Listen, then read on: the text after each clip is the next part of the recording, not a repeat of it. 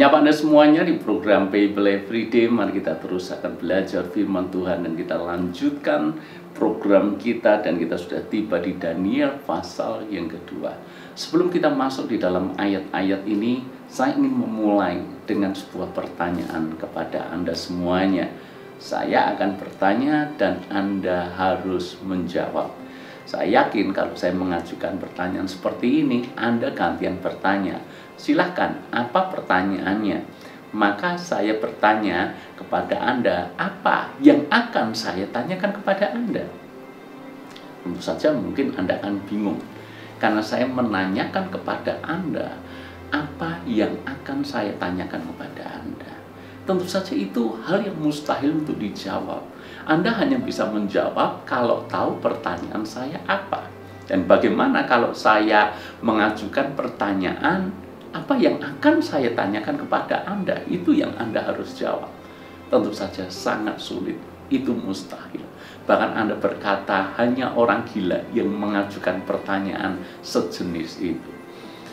Maka tidak heran kalau kita juga sepakat kalau Raja Nebukadnezar adalah raja yang gila, raja yang tidak waras, psikopat, kejam, keras, tidak masuk akal.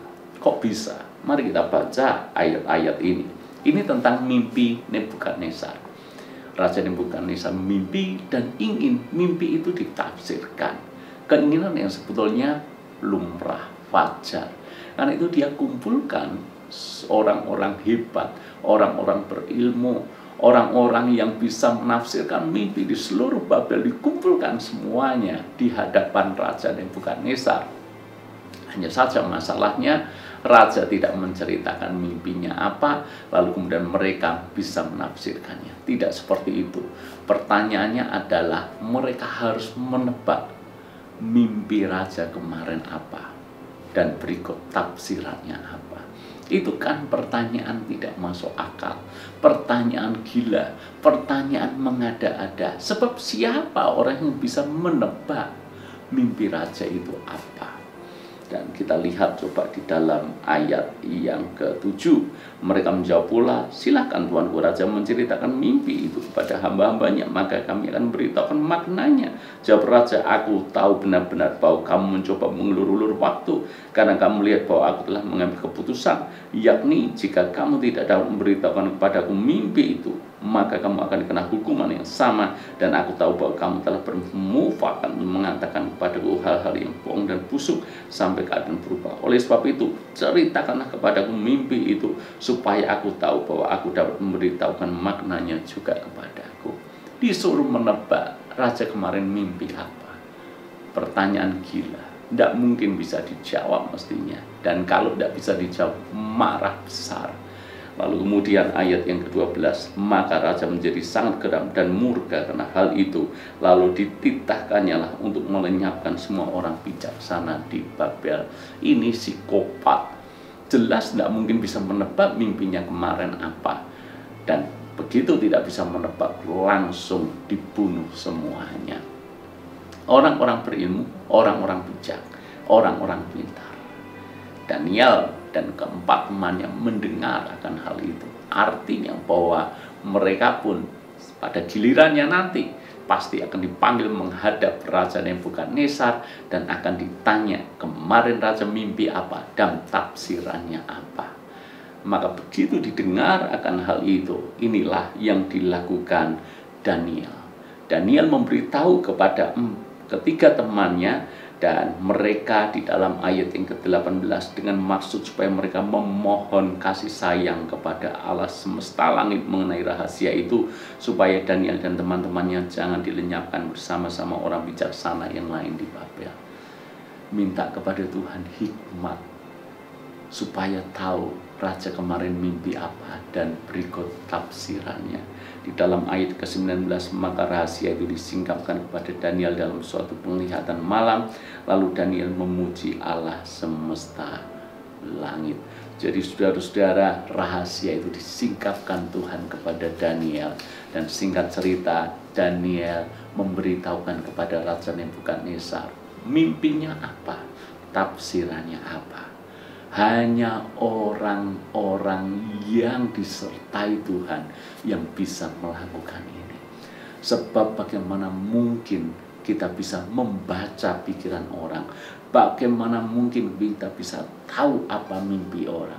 Hanya Tuhan yang tahu dan Tuhanlah yang memberitahukan kepada Daniel. Ayat yang ke-46. Begitu Daniel mengatakan mimpi raja apa dan tafsirannya seperti apa. Ayat 46 lalu sujudlah raja Nebukadnezar serta menyembah Daniel juga dititahkan yang mempersembahkan korban dan bau-bauan kepadanya. Baru kali ini raja yang sombong, raja yang arogan, raja yang gila. Tapi di ayat ini menyembah Daniel. Bayangkan Daniel orang biasa, anak muda lagi, tapi disembah Raja Nebukadnezar. Kenapa? Karena Tuhan menyertai Daniel. Ayat 47, berkatalah Raja kepada Daniel, sesungguhnya Allahmu itu Allah yang mengatasi segala Allah dan berkuasa atas segala raja yang menyingkapkan rahasia-rahasia sebab engkau telah dapat menyingkapkan rahasia itu. Nama Tuhan dipermuliakan. Mestinya hal yang sama terjadi dalam hidup kita. Mungkin kita tidak harus memposisikan diri disembah seperti halnya Raja Nebukadnezar menyembah Daniel.